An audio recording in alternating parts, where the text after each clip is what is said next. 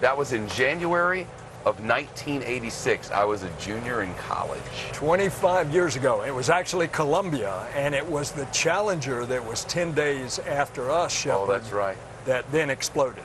Wow. Senator, to, you have lived this space program. You have you have uh, presided over it in many ways as a, as a legislator and a senator. What are your thoughts today? Well, as the previous uh, astronaut just told you, Garrett Reisman, that uh, we now have a whole new chapter of NASA. Uh, we are developing two lines of rockets. One that will go to and from the space station, and uh, Garrett's company is going to launch one version of that this fall. They're going to carry uh, cargo up to the space station and rendezvous and dock.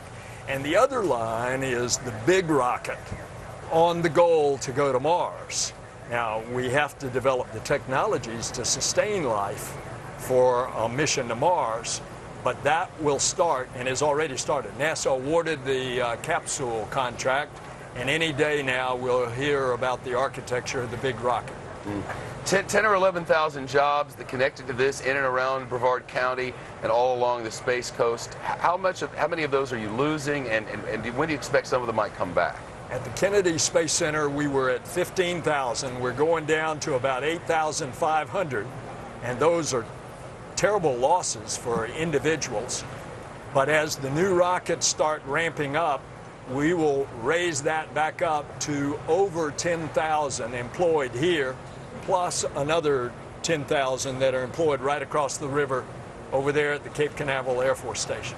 For people who have never visited this coast, it, it's always struck me, even in my days 20 years ago working in the Orlando market, what a step back in time it feels. So much of old Florida is really preserved here. It, it's, it's, it's quite a spot.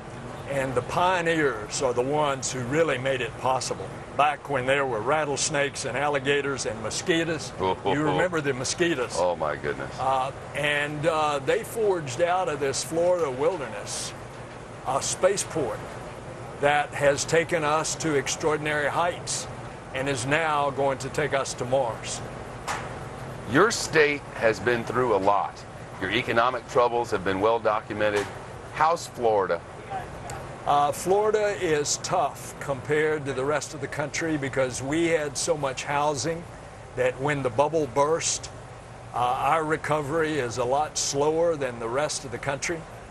Uh, but it's coming, and you can feel it, and you can feel the, the little bit, and you can see little bits of the economic recovery.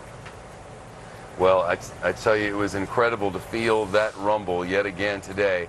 I uh, haven't felt that since the sort of rebirth of the shuttle program years ago.